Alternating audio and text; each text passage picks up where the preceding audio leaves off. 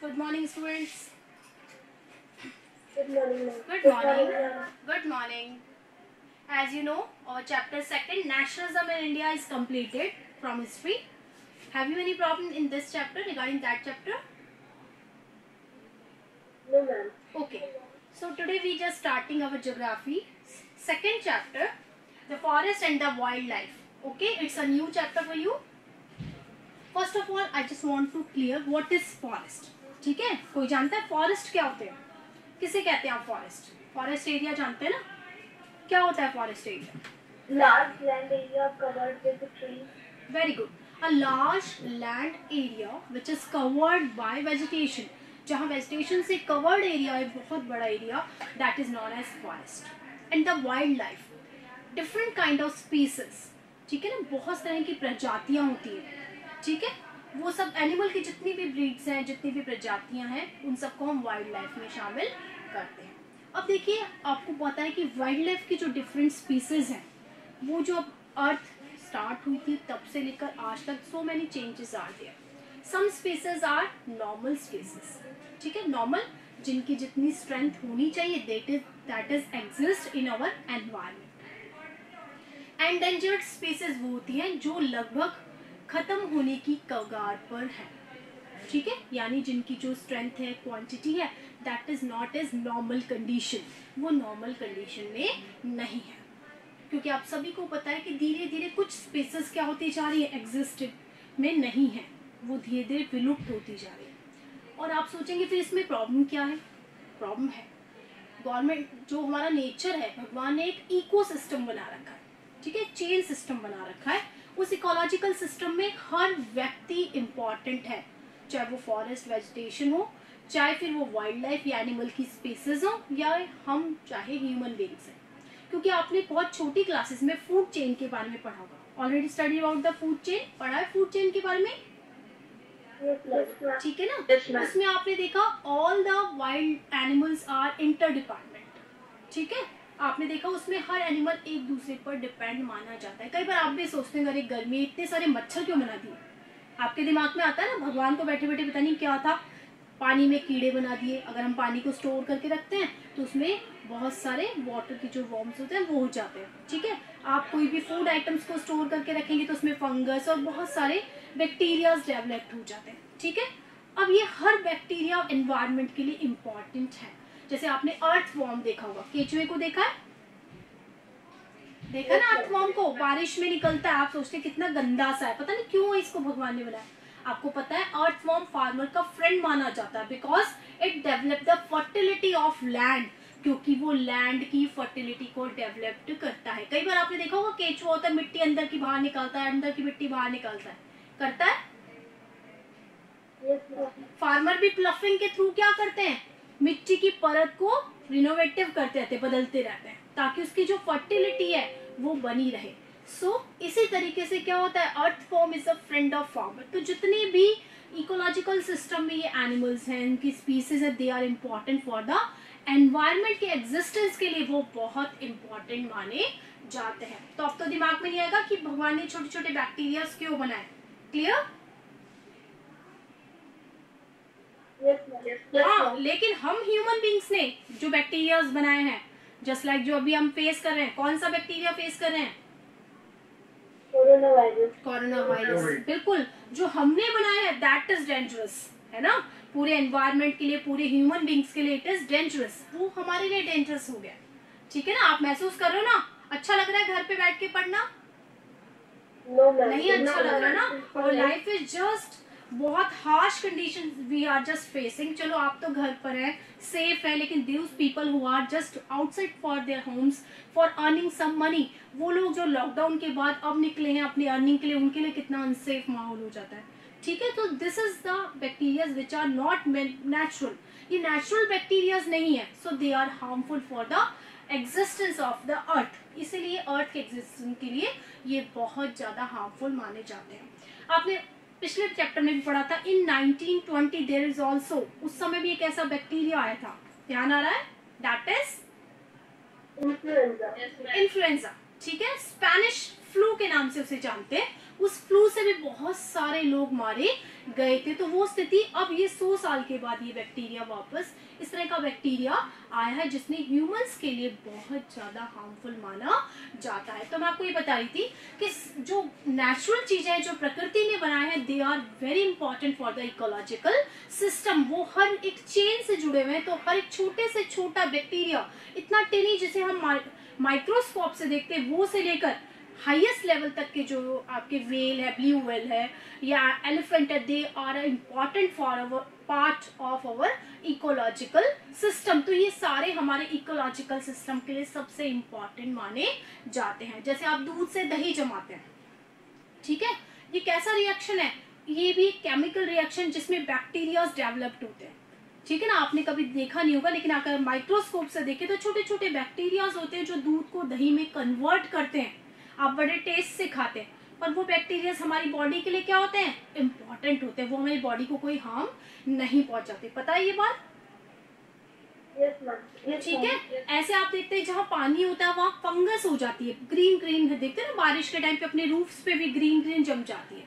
That is also part of bacteria वो भी क्या होते हैं? बैक्टीरियाज ही होते हैं एक तरीके के। ठीक है? But these bacterias are not harmful because they are हाँ काई एक फंगस ज़रूर आपके लिए हार्मफुल हो सकती है अगर आप उसको अंदर बॉडी के अंदर लेते हैं। लेकिन फिर भी ये बैक्टीरिया कैसे होते हैं? नेचुरल पार्ट है कहीं ना कहीं ये एनवायरमेंट के इकोलॉजिकल सिस्टम को बनाए रखते हैं। तो ये क्लियर हो गया कि जितने भी नेचुरल थिंग्स हैं जितने भी नेचुरल वेजिटेशन है ह्यूमन बींग्स हैं या स्पीसीज ऑफ़ एनिमल्स हैं they are the important part of the ecological system clear okay आज हम अपना चैप्टर देखेंगे। सबसे पहले हम बात करते हैं बायोडाइवर्सिटी और बायोलॉजिकल डाइवर्सिटी ठीक है? आप पहले भी पढ़ चुके हैं। What is you mean by diversity diversity means the different kind of ठीक है? डाइवर्सिटी का मतलब we human beings are on not same हम क्या सभी मनुष्य एक जैसे हैं? इवन देन इंडियन अगर आप वर्ल्ड लेवल पे इंडियन भी पहचाने जाते हैं तो क्या हम सब एक जैसे हैं? है? हम इक्वल हैं? नहीं है। नहीं है? Just like that all the bio bio में क्या आ गया? हम भी आ गए। वाइल्ड लाइफ भी आ गई। वेस्टेशन आ गई। तो सब क्या है? डिफरेंट है। Even then the plants are also different ठीक है? कुछ क्रीपर्स हैं जो कुछ क्लाइंबर्स हैं। ठीक है? कुछ हब्स हैं कुछ श्रब्स हैं कुछ लॉन्ग ट्रीज हैं। तो डिफरेंट काइंड ऑफ़ उनकी अपनी अपनी क्वालिटीज हैं। ठीक? इस तरह से एनिमल्स भी क्या होते हैं? डिफरेंट पाए जाते हैं। तो what is the biodiversity I want to clear it biological diversity is immensely rich in wildlife and cultivated species, diverse in form and functions, but closely integrated in a system through multiple network of interdependencies. ठीक है biodiversities का मतलब वो सारी भिन्नताएँ वो different kind of species चाहे वो animals की हो चाहे वो ह्यूमन बींग्स की हो चाहे उनमें कितनी भी डाइवर्सिटीज हो बट दे आर इंटरडिपेंडेंट वो एक सिस्टम के लिए इंटरडिपेंडेंट है। ठीक है? सिस्टम कौन सा? इकोलॉजिकल सिस्टम के लिए सारी स्पीसीज और type of diversity is important for the ecological system तो बायोडाइवर्सिटी क्या है? जहाँ पर different kind of immense on wildlife and cultivated species उनकी बहुत सारी प्रजातियाँ डाइवर्स इन फॉर्म चाहे वो अलग अलग हैं। फ़ंक्शन बट क्लोजली उनके फ़ंक्शंस अलग अलग हैं बट वो इंटरडिपेंडेंट हैं इंटीग्रेटेड करते हैं इकोलॉजिकल सिस्टम को बनाने के लिए। समझ में आ गया? What is biodiversity okay now just i want to clear what is flora and fauna. पता है किसी को? आपने सिक्स सेवेंथ में पढ़ा हो what is flora and fauna flora means uh, plants and fauna means animals. बिल्कुल जो flora that is the for use for vegetation जितने भी प्लांट्स और की जो स्पेसिस होती है that is flora fauna is belongs to the wildlife जितनी स्पीसीज ऑफ़ एनिमल्स होती है that is belongs to fauna यार देख, देखेंगे आप यहाँ पर। India is one of the world richest country in terms of its vast array of biological diversity. India में बहुत तरह के प्राणी मिलते हैं तो बायोलॉजिकल डाइवर्सिटी बहुत ज़्यादा है। This is possibly twice and thrice the number yet to be discovered यानी लगभग दो से तीन गुना ज़्यादा स्पाइसेस यहाँ पर पाई जाती है। These diverse flora and fauna are so well integrated in our daily life that we take these for the granted ठीक है? ये जो वाइल्ड लाइफ एनिमल्स की चाहे हो चाहे वो वेजिटेशन की वेराइटीज हो, वो हम अपने डेली लाइफ में आसपास देखते हैं। ठीक है? जैसे आपने देखा तुलसी का पौधा और नीम का पौधा, कितनी डाइवर्सिटीज है। ठीक है? इसी तरह से मैंने आपको बैक्टीरियाज के बताया कि फंगस जैसे छोटी छोटे बैक्टीरियाज और ब्लूवेल्स और एलिफेंट जैसे तो कितनी डाइवर्सिटीज उनमें पाई जाती है।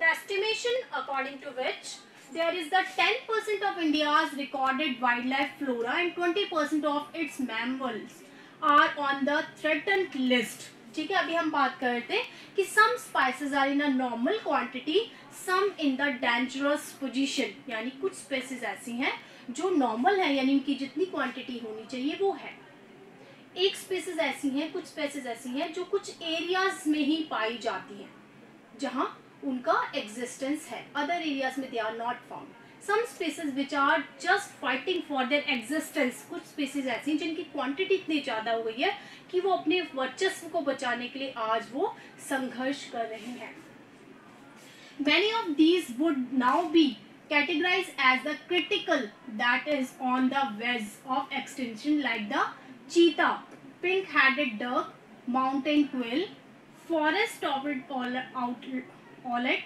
and the plants like the इनमें प्लांट्स और एनिमल्स की स्पीसीज दे रखी है which are on the dangerous position ठीक है? तो यहाँ क्वेश्चन बना। What you mean by question लिखेंगे। What you mean by biodiversity question लिखिए। What you mean by bio biodiversity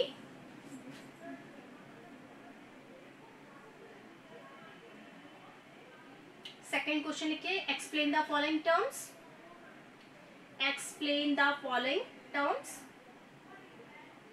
उसमें फ़र्स्ट लिखिए. Ecological system ecological system second term लिखिए फ्लोरा सेकेंड थर्ड टर्म लिखिए फूना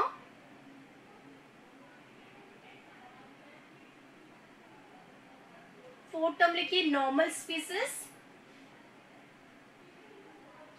फ़र्स्ट लिखिए. Ecological system second लिखिए flora और third लिखिए फूना फोर्थ लिखिए नॉर्मल स्पेसेस नॉर्मल स्पेसेस और सेकेंड लिखी एंडेंजर्ड स्पीसीस ठीक है? थर्ड क्वेश्चन लिखिए। हम एंडेंजर्स लिस्ट की बात करें। So name name some flora and fauna species which are endangered name some floras and faunas species which are endangered. जो बहुत क्वांटिटी में इतनी कम हो गई कि उनका एग्जिस्टेंस बहुत मुश्किल हो गया है। लिख लिया? ठीक है, तीनों क्वेश्चन आपने लिख लिए, आगे देखिए। Now we discuss about the vanishing forest ठीक है? जैसे आप भी अपने आसपास देख रहे हो कि जैसे आपके आसपास मकान बनते तो क्या होता है? आसपास के वेजिटेशन को हटा दिया जाता है। रोड चौड़ी होती है, तब भी ऐसा होता है। दैट इज़ वैनिशिंग फॉरेस्ट धीरे धीरे जो फॉरेस्ट का एरिया है, वो क्या होता जा रहा है? कम होता जा रहा है। ठीक है ना? आप अपने आसपास भी आपको महसूस आएगा, पहले बहुत ज़्यादा ग्रीनरी थी धीरे धीरे क्या हो रहा है? यहाँ वाला मकान बन गया, उधर वाला मकान बन गया।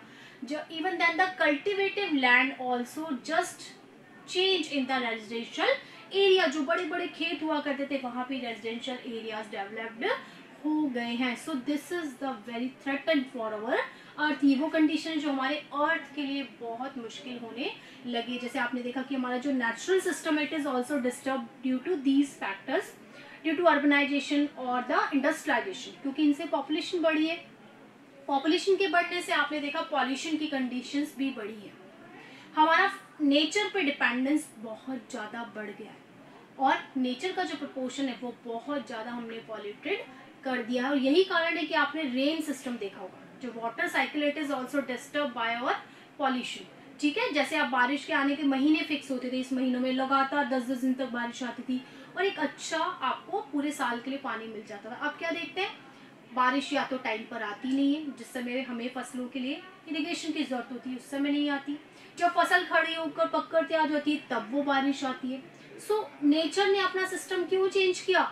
क्योंकि we just disturb the ecological system में भी मैंने आपसे बात की थी कि all the species of flora and fauna are important part of the ecological system अगर उस इकोलॉजिकल सिस्टम में आप एक भी स्पीसीज को हटा देते हैं तो वो नेचुरल जो सिस्टम होता है वो डिस्टर्ब हो जाता है और उसका कहीं ना कहीं इफ़ेक्ट ह्यूमन बींग्स को झेलना पड़ता है। ये बात क्लियर हो गई?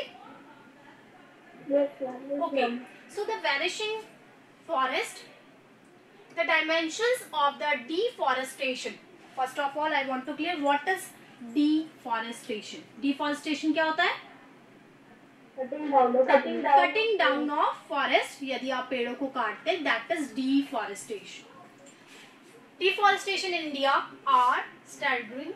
The forest and tree cover in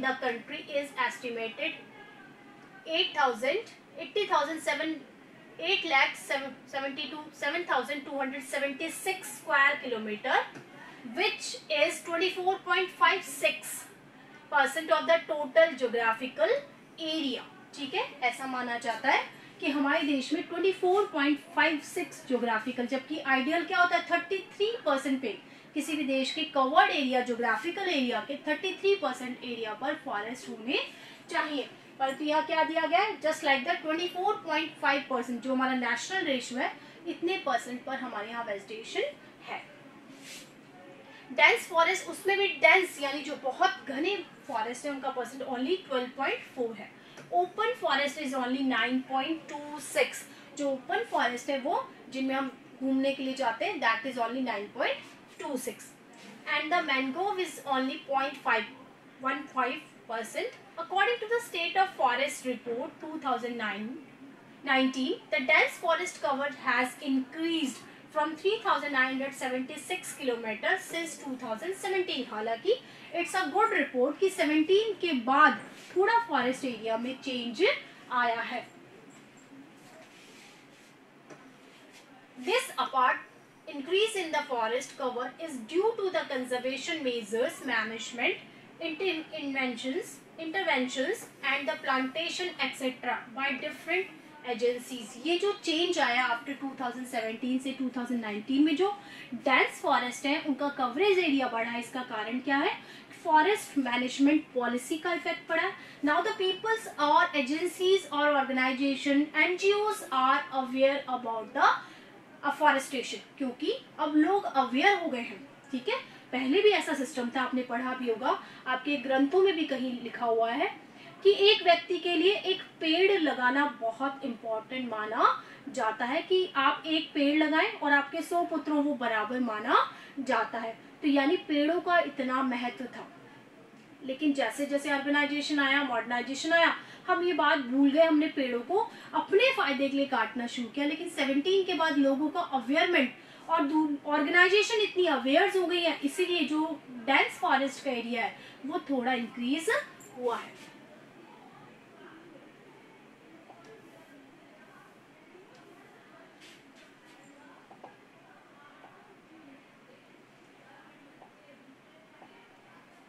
Now the types of species यहाँ पे दे रखा है द कैटेगराइज हमने स्पीसीज को जो प्रजातियाँ उनको कैटेगराइज किया गया है according to the international union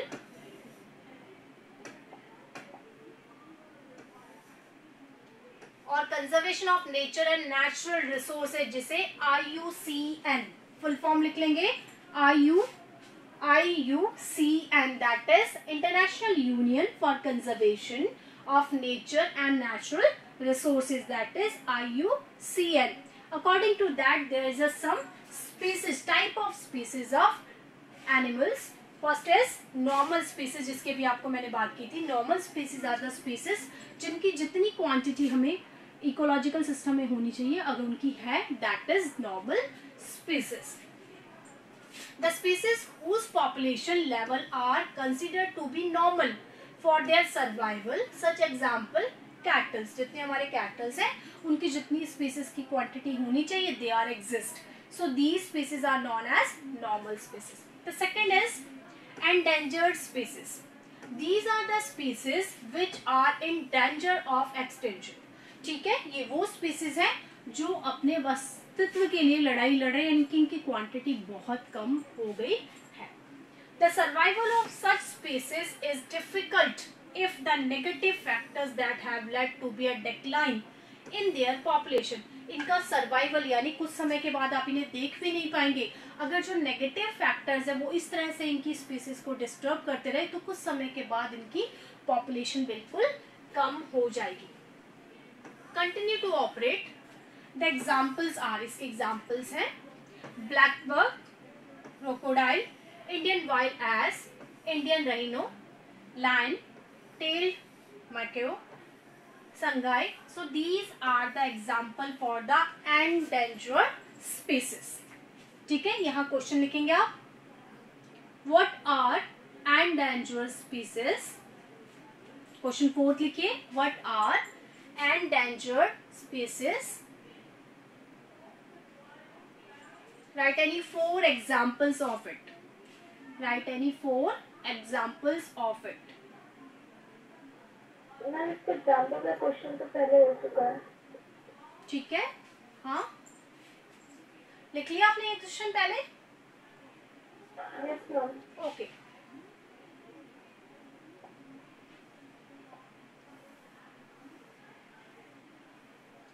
ना आगे देखेंगे नेक्स्ट स्पीसीज है that is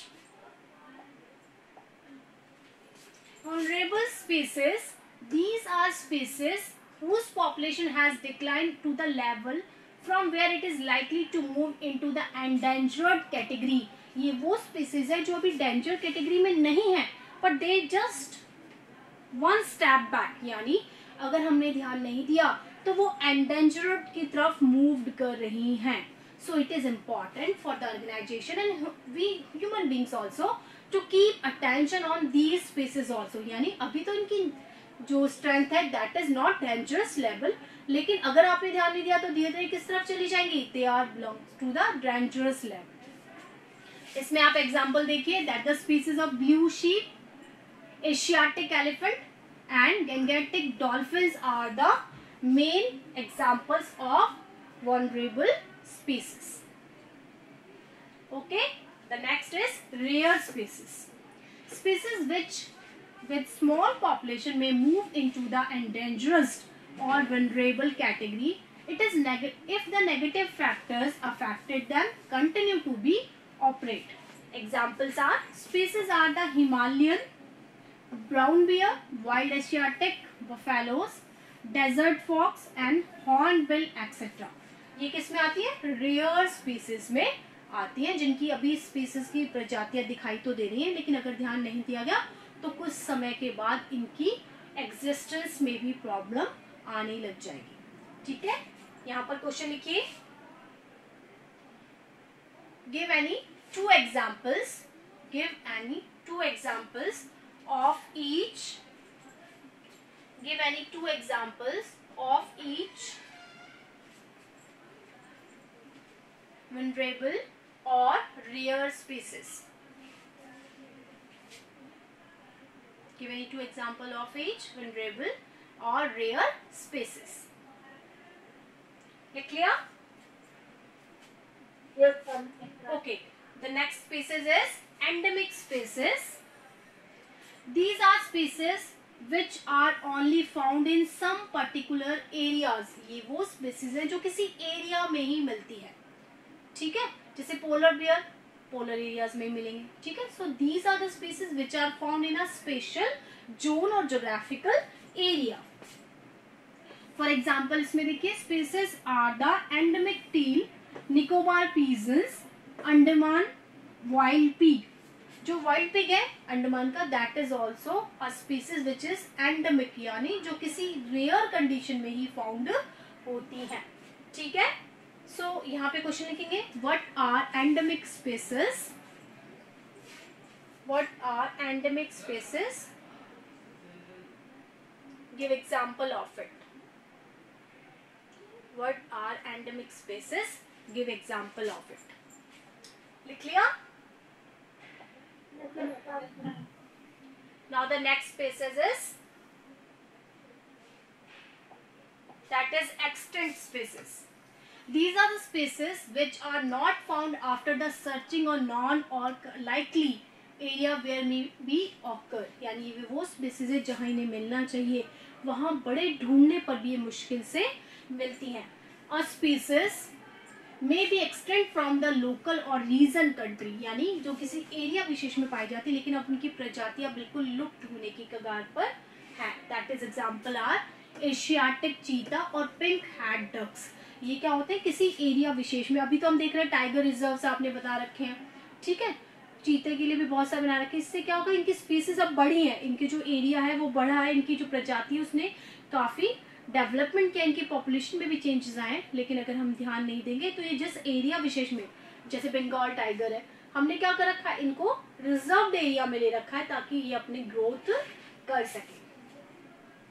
नेक्स्ट देखिए Asiatic cheetah. Where did they go the world fastest land mammal the cheetah is a unique and specialized specialized members of the cat family can move at the speed of 112 km per hour.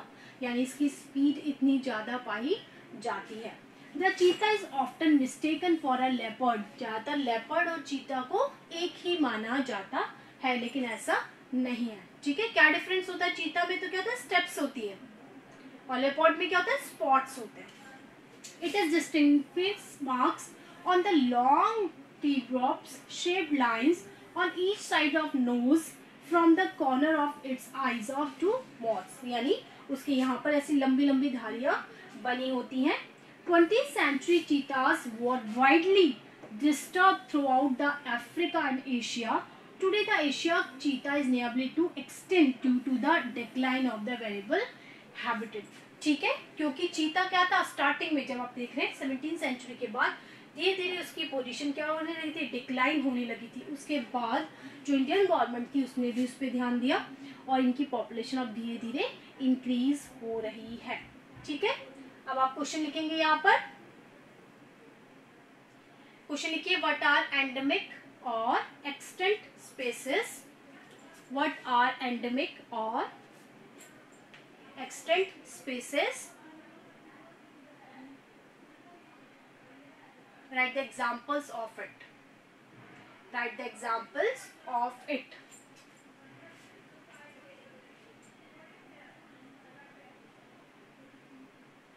लिख लिया ठीक है कितने question हुए okay okay